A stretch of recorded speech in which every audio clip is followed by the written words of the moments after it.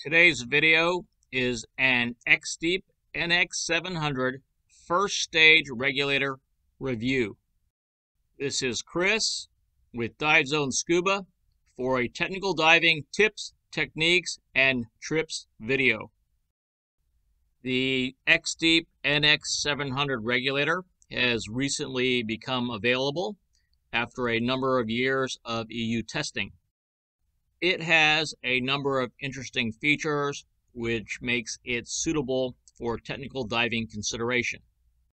In this video, we are going to take a look at these features and we are going to look at how to set this regulator up for different sorts of diving applications.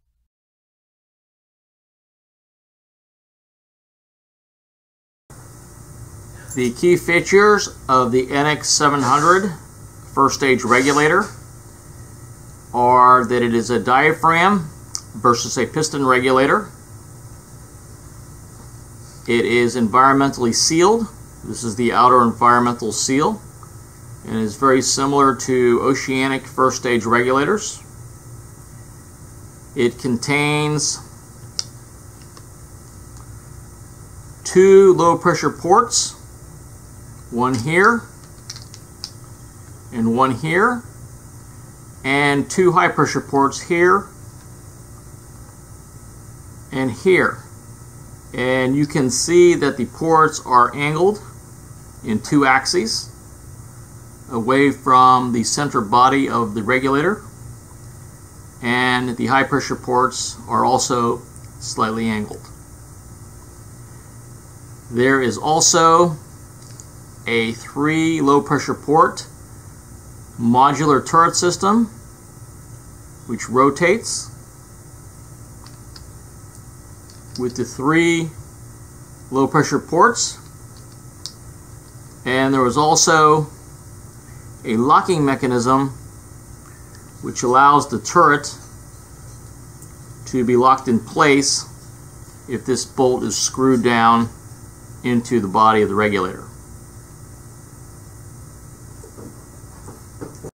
We are now going to discuss uh, various applications that the X-Deep uh, first stage regulator can be used for.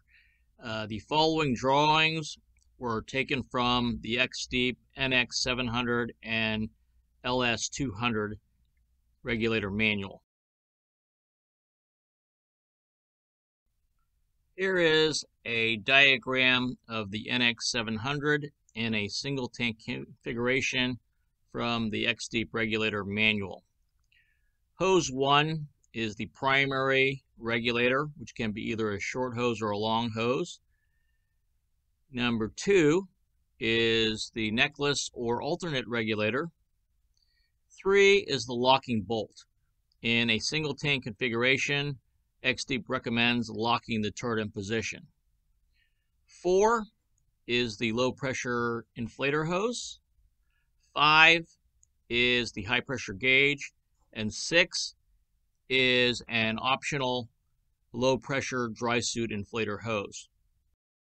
In the event that you would want the long hose regulator hose leading down, you could change the port position from the main body down to this position here at the bottom center of the turret.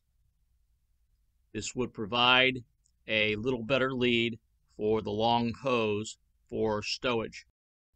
A pair of NX700s can also be used for back mount double tank use. In this diagram, hose number one is the long hose regulator. Item number two is the low pressure inflator hose for the wing. Item three is the hose for the necklace regulator. Four is the locking bolt in position. Five is a dry suit inflator hose. And six is the left post high pressure gauge hose. In this diagram, the right post regulator does not have a locking bolt.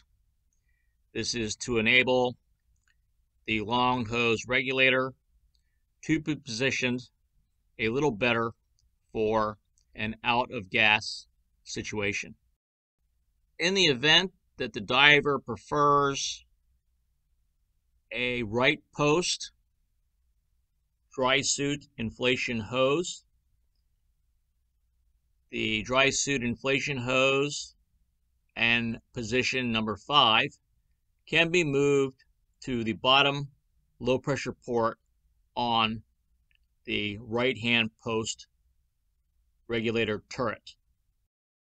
The use of a turret 90 degrees to the regulator body permits very clean hose routing for both the left and right post regulators. Here is an image of a back mount doubles NX700 setup. In this image, the right post long hose regulator is attached to the regulator body instead of the regulator turret.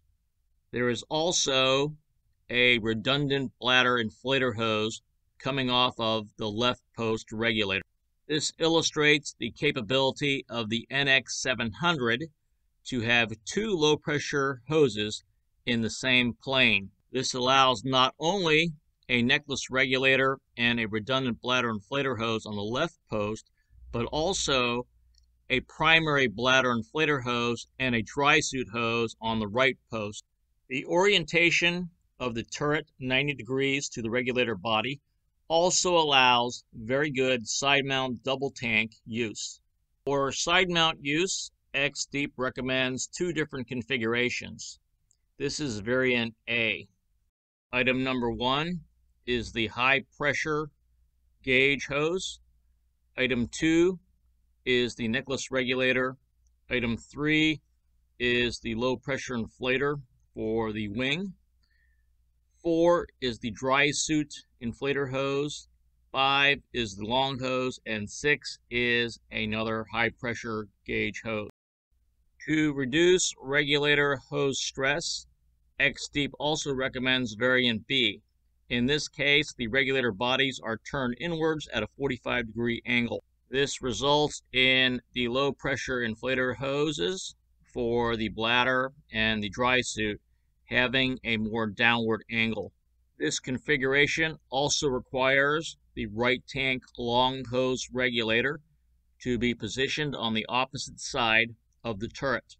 The NX700 can also be readily used as a stage or a deco tank regulator. Some divers prefer to use a first stage regulator on a stage or deco tank that has a turret. This allows the hose to be stowed neatly when not in use and pivoted 90 degrees when the regulator is being used. The X-Deep manual does not include illustrations on the use of the NX700 for stage and deco applications, so I have taken the liberty of modifying some of their existing drawings from their manual to illustrate this concept. So in this illustration, we have the NX700 uh, positioned as a uh, deco or stage tank regulator. This is, of course, for a left-hand carry. Item one is the high pressure gauge hose, and item two is the regulator hose mounted on the turret. In this diagram, the regulator hose on the stage or deco tank has been deployed. Here is an image of the NX700 being used in a deco tank application. In this case, the high pressure gauge and hose is positioned in the traditional manner rather than alongside the tank. Due to the shape of the regulator body, it may be advantageous to reduce hose stress by using a 9-inch rather than a 6-inch hose as illustrated here. Since the NX700 can be deployed as a single tank regulator, a double tank regulator, a side mount regulator, or a stage or deco regulator, it exhibits quite a bit of, of versatility. This versatility yields a number of very valuable benefits. The first one is it's possible for a diver doing open circuit technical dives to actually have all of the same type of regulator. A second advantage is in the event of a regulator malfunction or if a regulator is damaged, the regulators can be switched between applications. A third advantage is that the diver will only need to carry one type of regulator service kit. The NX700 is an environmentally sealed diaphragm first stage. It is capable of cold water diving. However, XDeep recommends the use of dual regulators in the event the water is colder than 10 degrees centigrade. The NX700 conforms to EU certification, and in my personal use of the NX700 first stage, I have not detected any performance less than any other high performing regulator.